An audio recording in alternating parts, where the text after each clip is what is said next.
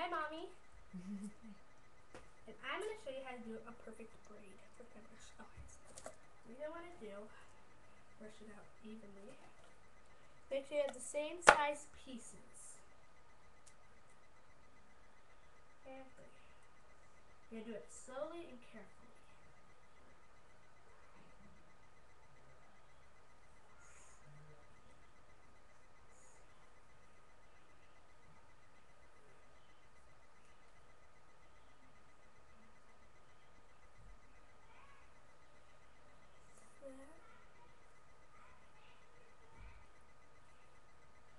And then, but right up to here, times our band. And have any extra hair just for the back, and there you are.